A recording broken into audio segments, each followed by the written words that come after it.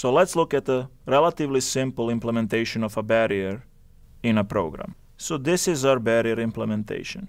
Our counter is a shared variable and everybody's trying to increment it when they arrive to the barrier. Multiple threads could arrive to the barrier at about the same time, so we have to protect the counter using a lock. So here what we are really doing is counting the arrivals.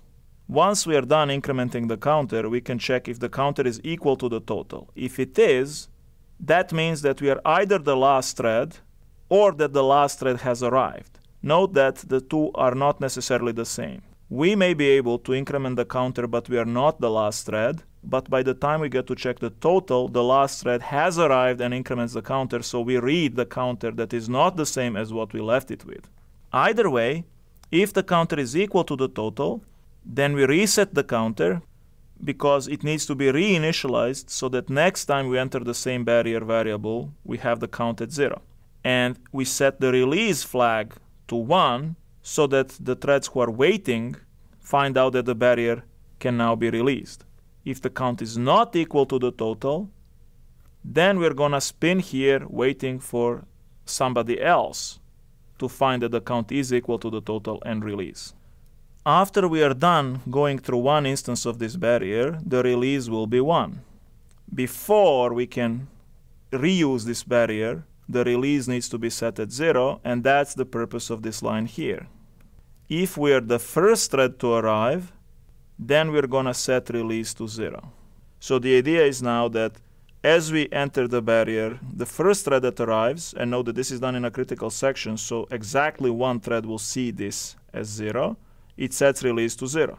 That thread then increments the count, it becomes 1, and then goes on here that thread and all the other threads now see release as 0 and the only way it becomes 1 is if count reaches the total.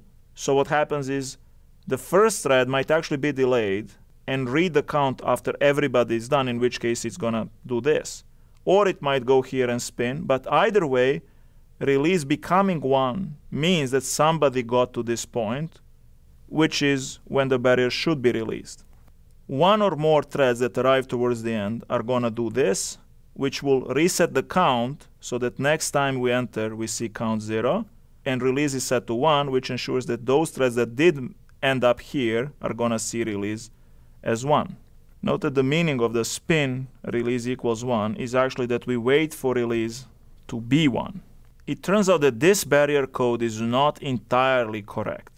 If two threads are synchronizing on this barrier, the total will be 2, and the barrier actually works the first time.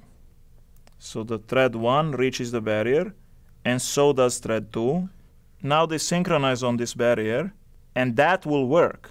But if we try to continue work and then synchronize on the same barrier variable again, we would expect that this setting of the count to 0 and this setting of the release to 0 to work, but it doesn't always work.